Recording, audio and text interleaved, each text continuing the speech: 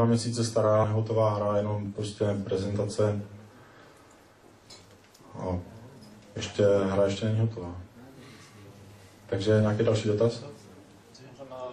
Vlastne na aké platformy to máte a či sa líšia potom, a čím sa líšia jednotlivé platformy? Či Tak máme to na PC, Xbox 360 a PlayStation 3 a liší se to tím, že eh, na PS3 to je na Blu-ray a to je asi tak všecko.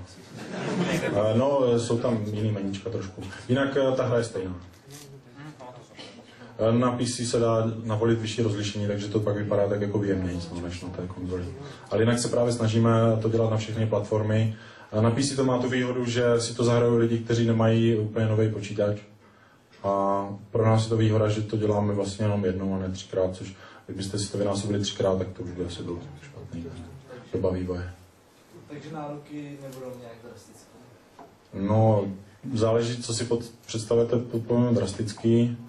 Já třeba můj počítač, co mám doma, tak na tom to asi nepojede, ale, ale mm, pokud hrajete hry teď nějaký, tak myslím, že to pojede.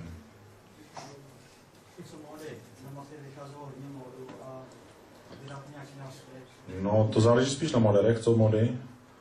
Ehm, nástroje, nástroje, no. Já myslím, že to spíš o těch moderech, no, jaký nástroje si vyrobí. No jako, uh, tady vzadu, tam ve čtvrté řadě se směje náš pan grafik.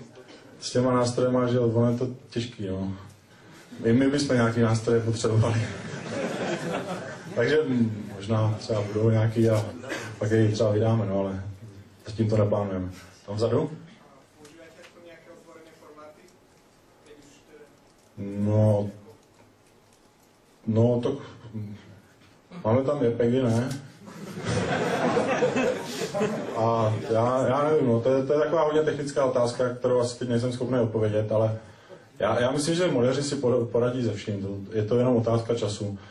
Eh, Tam je teda trošku problém, že na ty konzole je to tak jako speciálně zabalený, aby se to mohlo streamovat to město sem a tam, aby ta paměť, která je tam docela malá, tak aby, to, aby se to tam protočilo. Takže to možná těm moderům trošku zavaří, ale já myslím, že to, to, jsem, to co jsem viděl s Mafii jedničkou, tak to je docela obdivuhodný, takže myslím, že nemám strach.